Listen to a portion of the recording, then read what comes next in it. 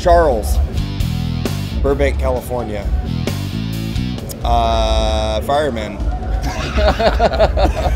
Hey, dude, that's my real answer. Biggest turn off? Uh, people who aren't firemen. It's a fucking uh, turn off. Teriyaki.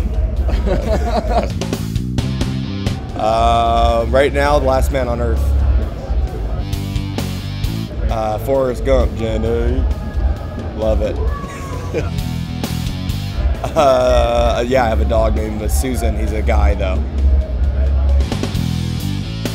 Uh, Sun Shadow Hills, California. Very sexy. where I live.